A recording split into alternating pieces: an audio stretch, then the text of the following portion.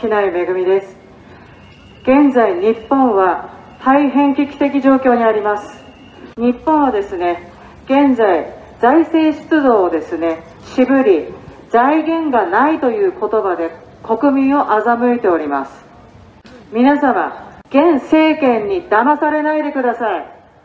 現政権はですね私たち国民を欺いております。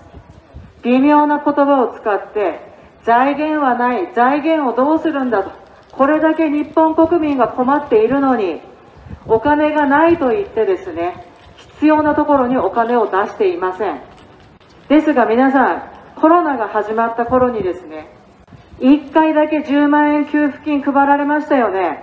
あれどこから出てるかご存知ですか？財政出動です。今現在ですね現政権はお金を出し渋って緊縮財政ということをやっております。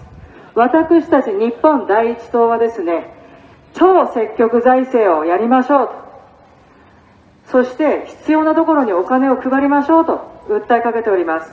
簡単に説明させていただきますと現在の政府はお金財源という言葉を使ってですねこれだけの財源しかないからこの中からお金をやりくりをしていかなくちゃいけないんだという刷り込みを私たち国民にしております。ですが国の財政と私たちが一般国民が理解している家計というものは別物なんです。仕組みが違います。一般国民はいただいたお給料年金の中から生活費を捻出して生活をします。ですが国というのは違うんですね。仕組みが違うんです。お金が必要だとなった時にお金を作り出すことができるのが日本なんです。日本という国は通貨発行ができます。日本銀行は紙幣を発行できます。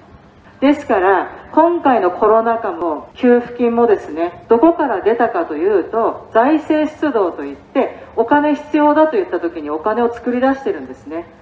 なのにそれを出し渋って財源がない財源どうするんだということを言って私たち日本国民を騙しているのが現政権です。皆様騙されないでください。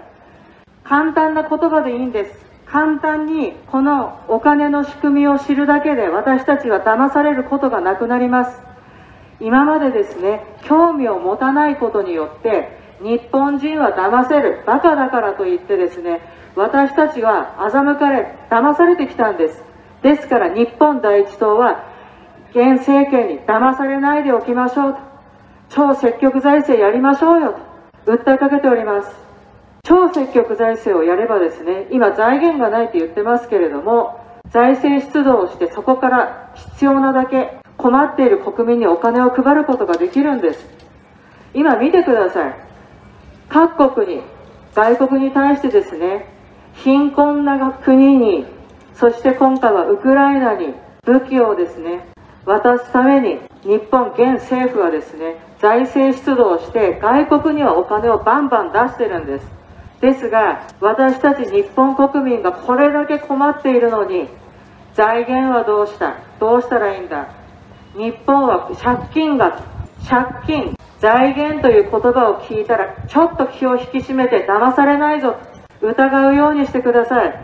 日本の現政府に私たちは騙されないと強い心を持って少しずつでいいんです。少しずつでいいですから経済について国の仕組みについて知っていただけたらと思います。そこで私たち日本第一党は超積極財政を訴えかけております。